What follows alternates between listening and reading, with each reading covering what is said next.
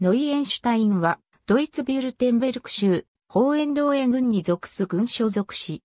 隣接する市町村は、東から時計回りに、クプファーツェル、バルデンブルク、エーリンゲン、ツバイフリンゲン、フォルヒテンベルク、ニーデルンハル、キュンツェルスアウである。この市は、以下の7つの市区からなる。ノイエンシュタイン、キルヒエンザル、クラインヒルシュバッハ、オーバーゼルバッハ、エッシェルバッハ、ケッセルフェルト、グリュンビュール。城と周辺地域を開発したノイエンシュタイン家は1230年に初めて文献に登場する。1351年にホーエンドーエバイガースハイム家のクラフト3世は皇帝カール4世の許可を得てノイエンシュタインに都市圏を授けた。彼は私壁や堀を築き、市場を開設して地域経済の発展をもたらし、この若い都市を堅固な町にしていった。ノイエンシュタインは1553年までホーエンローエ家のホーエンローエバイカースハイム家の所領であった。この年に行われたホーエンローエ家の国家分割により、ノイエンシュタインはルートビヒカジミール伯のホーエンローエノイエンシュタイン家の所領となった。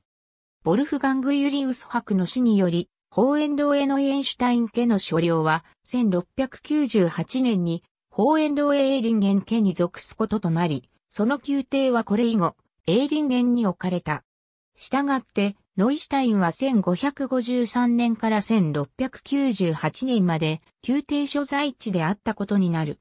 ノイエンシュタイン教会ルートビヒカジミールは1553年にノイシュタインに宗教改革をもたらした。ノイエンシュタインの市議会は20議席からなる。ノイエンシュタインは連邦アウトバーン A6 号ザールブリュッケン、バイトハウス線により、ドイツのみならず、フランスやチェコへも通じる広域道路網に接続している。ノイエンシュタインは、1860年から1862年に建設されたハイルブロンからエーリンゲンを経由して、シュベービッシュハルに至るホーエンローエ鉄道沿いに位置してもいる。ノイエンシュタイン上ビュルガートノイエンシュタインは多くの見どころを経由する古城街道沿いに位置している。